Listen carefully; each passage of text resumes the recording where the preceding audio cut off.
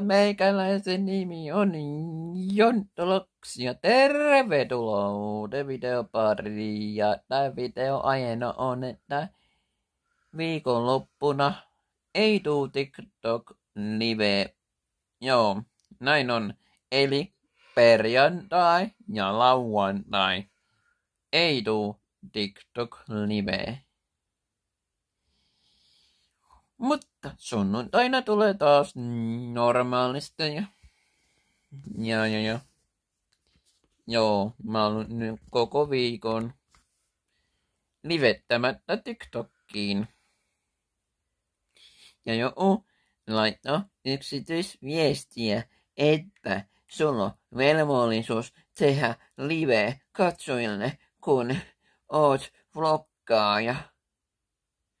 En tiedä, mitä se sillä tarkoittaa. No se nyt vaan halus päteä.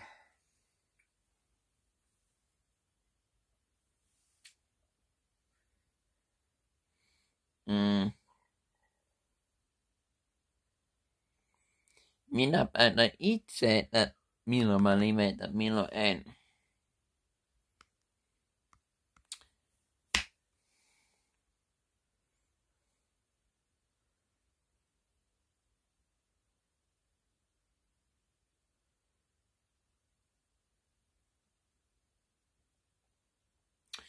Hmm.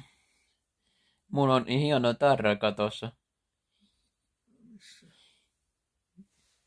Niin on, niin on.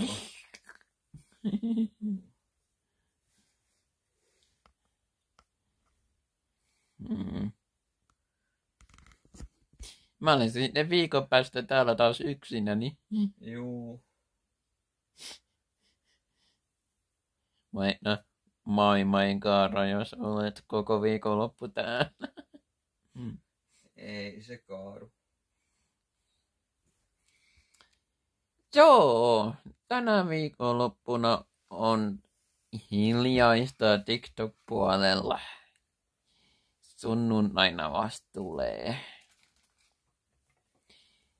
Live varmaan viimeistä, kun mä olen kämpillä.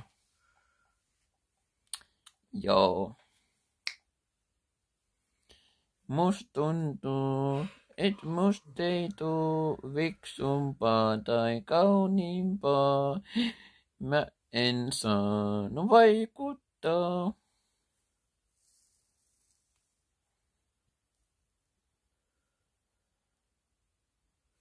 Joo.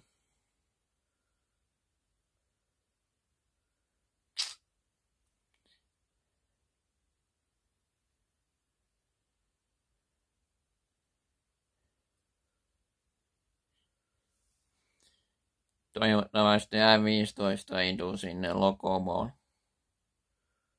Niin, tuskin. Mä kyllä sanoin, että toivottavasti ei tuu. Niin. Mut joo, se on moro. Tiilaa kanava. Hmm. Tira, tira, tira, tira, tira. Tulink CNMX.